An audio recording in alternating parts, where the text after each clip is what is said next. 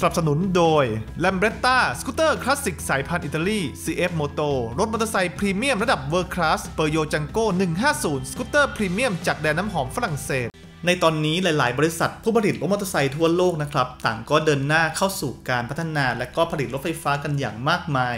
และทาง Super Soco แบรนด์สัญชาติอังกฤษเองก็เป็นหนึ่งในนั้น โดยการเปิดตัว CT3 รถสกูตเตอร์พลังงานไฟฟ้ารุ่นใหม่ล่าสุด ออกมาในตลาดสากลแล้วตอนนี้ หลังจากโชว์ตัวในประเทศจีนที่งาน China Motor Show 2021 ไปก่อนหน้านี้ ด้วยคุณสมบัติที่โดดเด่นนะครับในการชาร์จไวที่ทางผู้ผลิตได้แจ้งว่า ใช้เวลาประมาณ 3 ชั่วโมงเท่านั้นกับแบตเตอรี่ขนาด 7.2 กิโลวัตต์โดยเมื่อชาร์จเต็มแล้วนะครับ มันสามารถวิ่งได้ระยะทางสูงสุดถึงประมาณ 180 กิโลเมตร และก็สามารถใช้ความเร็วสูงสุดได้ถึง 125 กิโลเมตรต่อชั่วโมง ซึ่งทั้งหมดนี้ถือว่ามันเป็นสเปคที่ยอดเยี่ยมเอามากๆเลยทีเดียว อีกทั้งตัวแบตเตอรี่เองยังสามารถถอดเปลี่ยนได้ด้วย ดังนั้นแล้วนะครับ มันก็ยิ่งทำให้สะดวกในการใช้งานจริงมากยิ่งขึ้นไปอีก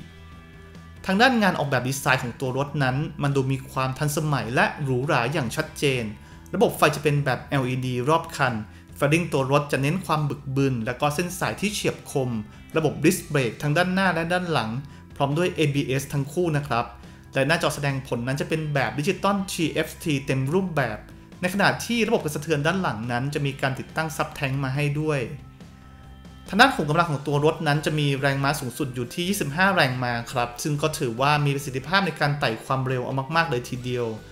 ซึ่งเร็วๆนี้นะครับ เราก็จะได้ทราบราคาอย่างเป็นทางการของรถรุ่นนี้กันแล้ว ต้องมารอติดตามกันต่อไปยาวๆ หลังจากเปิดตัวในระดับสากลแล้วว่าในอนาคต มันจะมีลุ้นมีโอกาสมาทำตลาดในประเทศไทยเราด้วยหรือไม่อย่างไร สนับสนุนโดย l a m b r e t t a สกูตเตอร์คลาสสิกสายพันธุ์อิตาลี CF Moto รถมอเตอร์ไซค์พรีเมียมระดับ World Class Peugeot Django 150 สกูตเตอร์พรีเมียมจากแดนน้ำหอมฝรั่งเศส